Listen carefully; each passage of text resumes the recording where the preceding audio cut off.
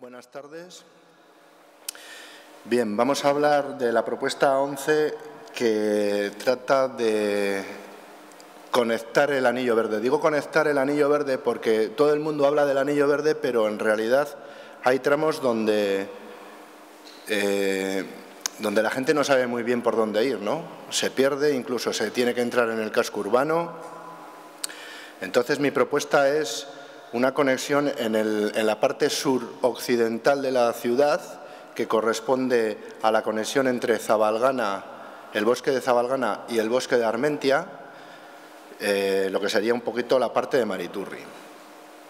La idea, como pongo en el texto, la idea sería conectar uno de los puntos fragmentados por varias vías y rotondas que obligan tanto a viandantes como ciclistas a desviarse bastante de la ruta lógica del anillo, pues falta esa solución de continuidad en, la parte suroccidental del anillo verde que circunvala Vitoria-Gasteiz. Eh, ¿Cómo?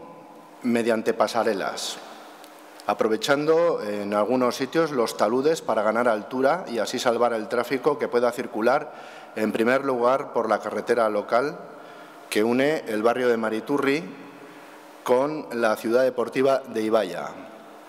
En una foto que pondré posteriormente se ve claramente que el talud es bastante alto, con lo cual eh, eh, una pasarela ahí salvaría perfectamente el tráfico que pasa por ella. Eh, la propuesta es ser realizada con materiales respetuosos con el medio ambiente, como la madera, como se ha hecho en otros tramos del recorrido. Y hay que tener en cuenta que hay que atravesar tres eh, vías transversales de tráfico. Una sería esta comentada, la otra sería la antigua N1 y la carretera que va de Armentia a Gomecha. Aquí vemos eh, en, esta fotografía aérea en naranja por dónde va el, recorrido, por dónde iría el recorrido del anillo verde eh, y en rojo las pasarelas. Vemos que hay tres, que hay tres vías eh, de comunicación. La primera sería la, de, la que hemos comentado antes, que va de Mariturri a la ciudad deportiva de Ibaya. La segunda, con más tráfico, sería la Nacional 102. Y la tercera sería la carretera eh, que comunica Gomecha con Armentia y donde está el cruce a Esquivel.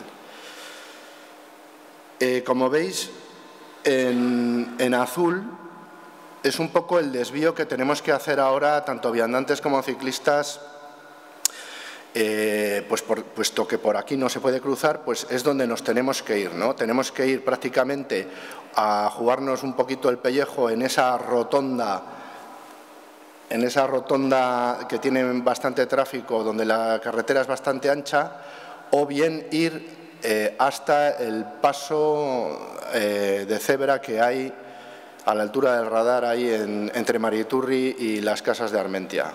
Entonces es meternos demasiado en el casco urbano. La idea es que el anillo verde circunvale la ciudad por el espacio natural eh, sin, con accesos a la ciudad, pero sin necesidad de meternos en el casco urbano. Esta fotografía es el camino que proviene del bosque de Zabalgana, es, digamos que está sacada hacia el norte, eh, y aquí vemos su finalización en la, la, parte sur, que pongo sin solución de continuidad, puesto que acaba ahí, ¿no? Ahí justo detrás está el talud mencionado en este punto.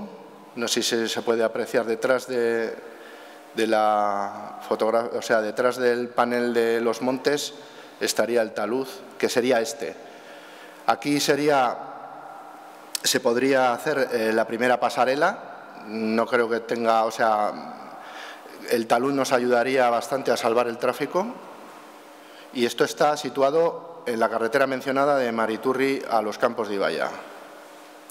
Veis que al fondo están los montes de Vitoria, el monte de Gomecha, el monte de Esquivel, Zaldiaran, para que nos hagamos una idea de a dónde nos dirigimos.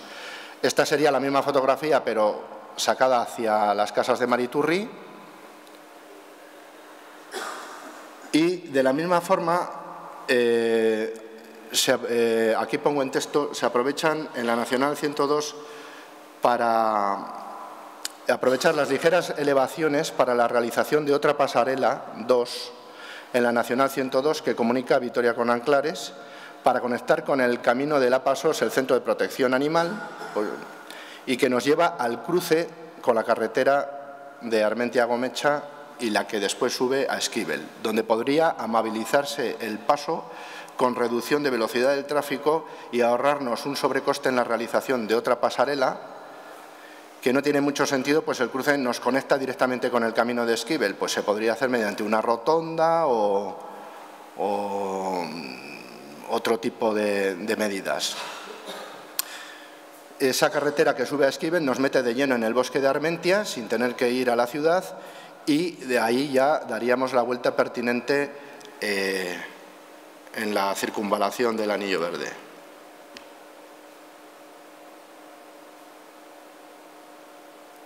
Eh, bueno, esta foto es, más es, un poquito más ampliada.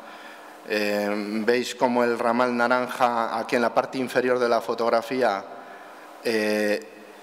conecta directamente con la carretera Esquivel, con lo cual tendríamos bastante ganado y ya eh, enseguida un poquito más arriba estaríamos en el bosque de Armentia.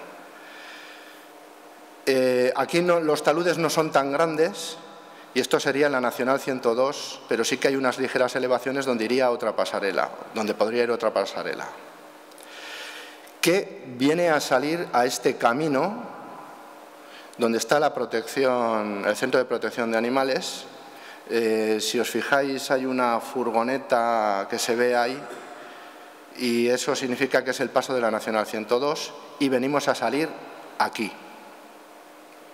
Venimos a salir aquí a este cruce, eh, es muy poquito recorrido y lo, dicho, aquí sí que es cierto que se puede amabilizar la velocidad de los vehículos con, medidas como rotondas, etcétera. La carretera que sube arriba es la que ya va directamente a Esquivel y al bosque de Armentia.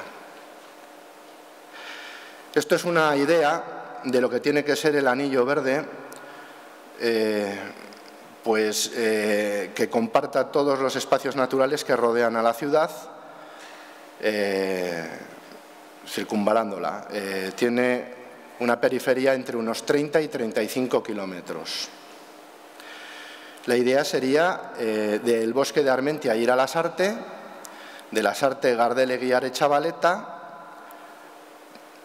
hacia los terrenos de Olarizu, de los terrenos de Olarizu a Puente Alto Las Neveras y de ahí al pueblo de Arcaya, que eso, eso ya hay camino hecho.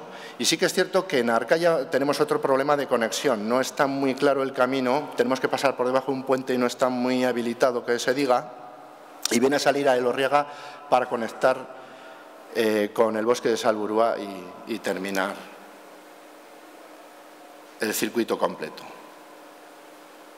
Esto lo explico aquí, los pueblos por los que pasaría.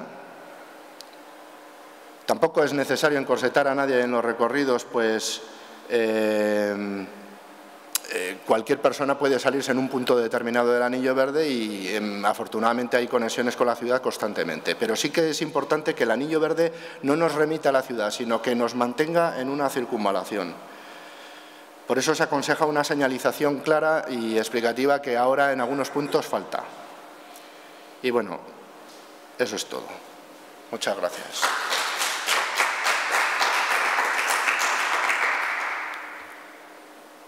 Sí.